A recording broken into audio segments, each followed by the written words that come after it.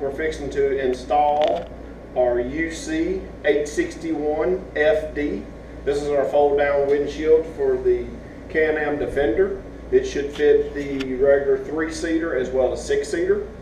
Um, to get started, you're going to need a P3 Phillips screwdriver or bit for your impactor drill and a 7 16 wrench. First thing you're going to need to get in your bag, there'll be two of these brackets. You'll get a screw, that'll be in the bag with it as well. You're going to insert it into this big hole to the little hole on the opposite side of the frame. All right, we'll put this bracket on, and then you'll put a lock washer and a nut.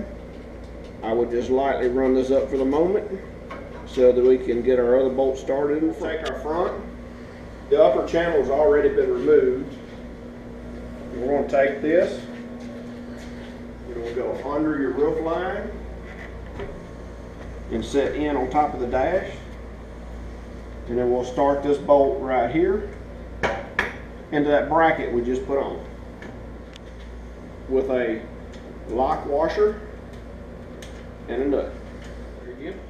Now that we got the front enclosure set in, we'll let the windshield down just to give us easier access to the screws. We're going to take this channel and remount it back together. We'll put it on the screws, put a flat washer, lock washer, and a nut. And then put them on the rest of the way across. Tighten up our lower brackets.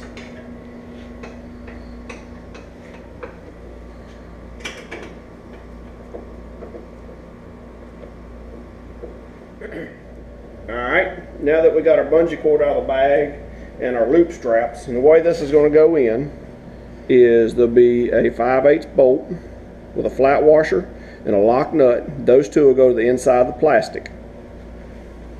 What we're going to do is we're going to put this loop strap right on the corner of this plastic. You'll have to drill you a 3 16 hole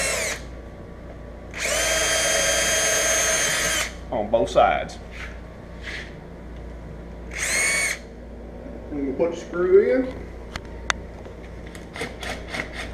And then we're going to put a flat washer and a lock nut. All right, in the bag you're also going to have a bumper with a screw, to have a nut inside. This bumper is going to need to be located on this body line and this body line. It'll set right up there on top of the fender. What we'll need to do is take it and put a 3 16 hole right there for mounting the bumper. All right, we got the bumper snug.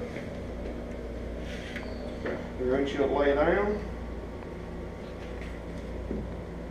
This will hold your windshield down while you're traveling with it open. And you're ready to enjoy it on your next ride.